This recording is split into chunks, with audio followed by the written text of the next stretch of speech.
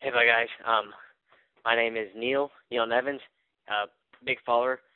Okay, well, I believed in the Men in Black for as long as I can remember, but I think just the other day I got actual contact, like breaking the barrier, man. Okay, so I was working late. Got out at like 3 a.m. in the building when I hear this like I don't know, I can't, it's like a screech and a growl, like really low. Like I heard it at the other side of the street. Naturally, I rush out to see what it is, and there's nothing. I, I investigate further, and in the alleyway are two agents. I think they're agents. They were wearing black suits.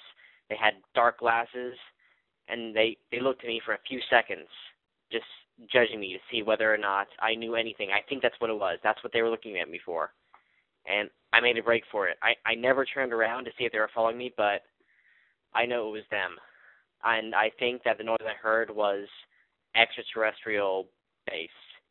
It's just they're out there, man. They're out there, and we get, we got to spread the word. That's what we got to do.